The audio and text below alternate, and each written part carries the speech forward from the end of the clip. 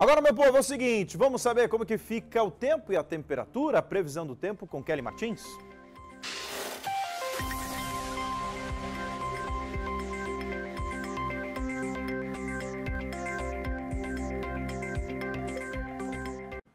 Olá, Rude. Bom dia para você, bom dia para todo mundo. Olha, o céu amanheceu com poucas nuvens aqui nesta quinta-feira, aqui em Três Lagoas, o sol já brilhando desde as seis e meia da manhã, viu? E agora no finalzinho da manhã desta quinta-feira ficou parcialmente nublado, mas o calor segue durante toda a quinta-feira no período da tarde. Hoje a temperatura pode chegar a 34 graus e há previsão de pancada de chuva mais isolada aqui na região de Três Lagoas.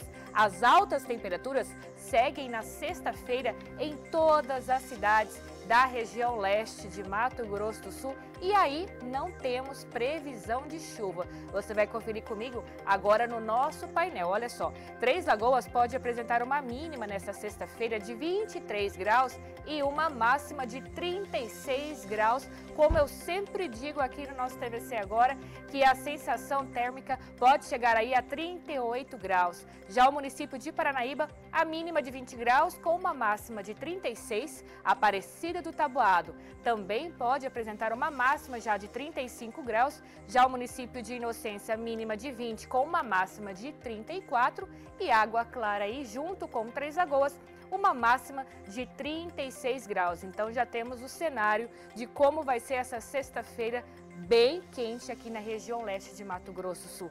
Mas vamos saber se está quente lá fora, se continua quente. Você que nos acompanha pelas redes sociais, por imagens, pelo nosso portal JP News e, claro, pela TVC canal 13.1, vê imagens da rua Trajano dos Santos, ali no bairro Santa Luzia. Olha só, calor prevalece, viu? O céu está parcialmente nublado, mas há aquela sensação de abafamento, como traz o verão, né? Este é, clima praticamente predominante em todo o verão em nossa região leste e em todo o Mato Grosso do Sul praticamente. Nós continuamos aqui no TVC agora e eu convido você a continuar com a gente, não sai daí não. Vamos rapidinho para o intervalo e voltamos já já.